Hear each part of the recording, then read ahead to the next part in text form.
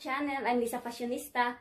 For today's video guys, ang ipapakita ko sa inyo yung aking uh, summer fashion 2020 trend. Please watch guys, don't forget to like, share, and subscribe to my channel. So guys, ito yung aking ano, uh, summer outfit.